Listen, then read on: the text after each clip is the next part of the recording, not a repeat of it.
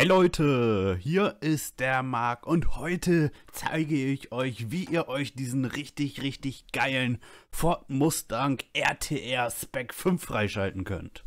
Dafür müsst ihr eine Playlist abschließen und zwar die Playlist findet ihr, ihr im Menü einfach die Starttaste hier drücken, denn ganz oben links auch im Startmenü und jetzt hier, ich bin schon drauf, Festival Spielliste.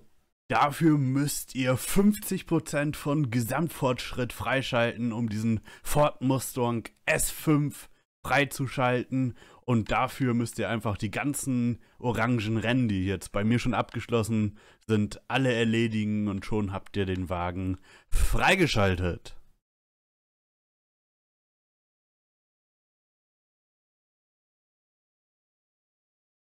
So Leute, das war's schon wieder. Ich hoffe, ich konnte euch helfen und euch zeigen, wie ihr euch diesen Ford Mustang hier freischalten könnt. Denkt dran, die ganze Sache gilt jetzt hier nur von 14. bis zum 21.03. Danach ist der Wagen ja erstmal auf unbestimmte Zeit nicht mehr freispielbar. Von daher holt euch den auf jeden Fall. Lasst auf jeden Fall auch ein Like da, ein Abo wäre spitze und wir sehen uns beim nächsten Mal, Leute. Haut rein, ciao, ciao.